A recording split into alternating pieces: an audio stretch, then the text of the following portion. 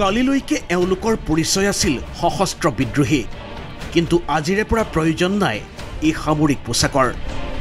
Guerrilla যুঁজৰ সামৰিক পোছাকযোৰ সকলোৱে খুলি এঠাইত দম কৰিছে আৰু তাৰ পিছত জ্বলাই দিছে এদিন আগলৈকে আপোন পোছাকযোৰ। কাৰণ সশস্ত্ৰ বিদ্ৰোহৰ পন্থা পৰিত্যাগ কৰি এওঁলোক এতিয়া চামিল হৈছে শান্তি আলোচনা প্ৰক্ৰিয়াত।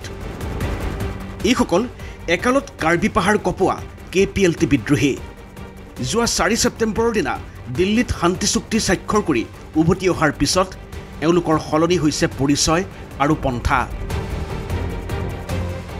অৰ্গেনাইজেশ্যনৰ আমাৰ যোনটো আমাৰ ডিমাণ্ড সেইটো ডিমাণ্ড ফুলফিল বুলি ক'ব পৰা যায় সেইটো লৈ আমি আমাৰ অৰ্গেনাইজেশ্যনটো ভংগ কৰা হৈছে। সোমবাৰৰ এই দৃশ্য কাৰ্বি আংলং পাৰ্বত্য জিলাৰ সদৰ ডিফু চহৰৰ গাতে লাগি থকা পাঁচ মাইল অঞ্চলৰ।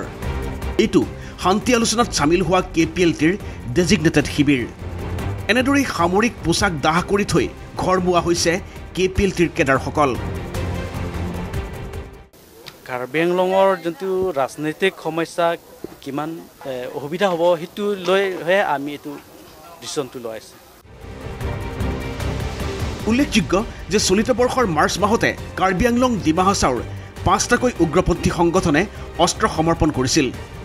তাৰ পিছত যোৱা চাৰি ছেপ্টেম্বৰত পাঁচ সংগঠনৰ সৈতে সম্পন্ন হয় ত্ৰিপাক্ষিক শান্তি চুক্তি। চুক্তিত চহী কৰাসকলৰ অন্যতম কে পি এল টি নেতৃত্বও। ডিপুৰ পৰা স্বৰূপ লস্কৰৰ report N D twenty four